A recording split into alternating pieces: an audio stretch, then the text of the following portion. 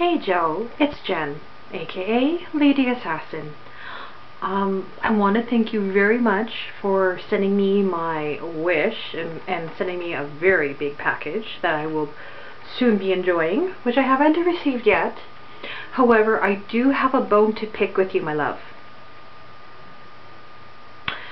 I have asked you numerous times to send me a forwarding address where I can send you a package that I've already, small package, but put together just for you. I understand we're kind of still strangers and all, but you can always send me a P.O. box or something.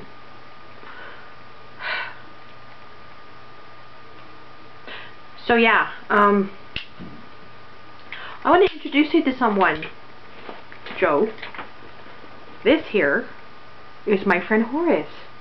Look at Horace.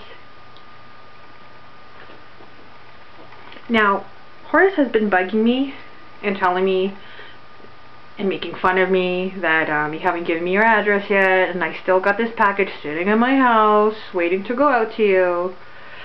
So I'm a little bit mad at Horace. Nothing in there, eh?